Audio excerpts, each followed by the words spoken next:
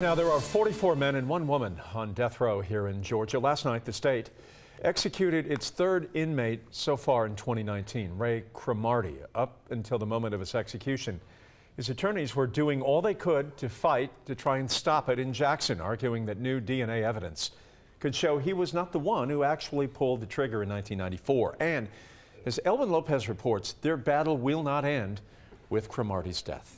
Yeah, that's right, Jeff. Anthony Cromartie says his brother's previous attorneys didn't request DNA testing, but should have. When his new attorney stepped in, they did, but they lost every appeal for a new trial, including their request to test the evidence now.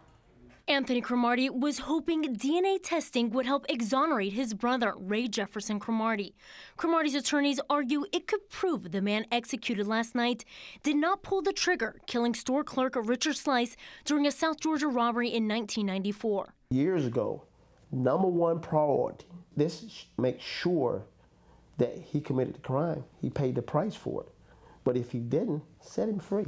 So, why wasn't the evidence tested now? The state countered that the DNA evidence the defense was seeking couldn't prove his innocence, and a judge ruled last month that it was unlikely the testing would lead to a different verdict.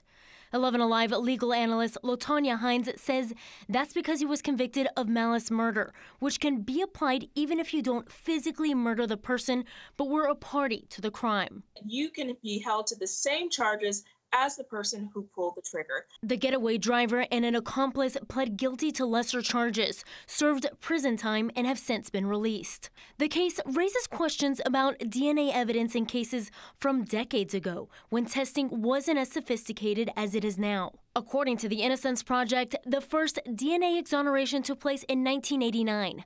367 people in the U.S. have been exonerated by DNA testing. 61% of them were African American. 21 inmates were on death row. And since the Supreme Court reinstated the death penalty in 1976, 74 men and one woman have been executed here in Georgia. Under Georgia law, three offenses being murder, rape, and kidnapping are punishable by death. Elwin, thanks a lot.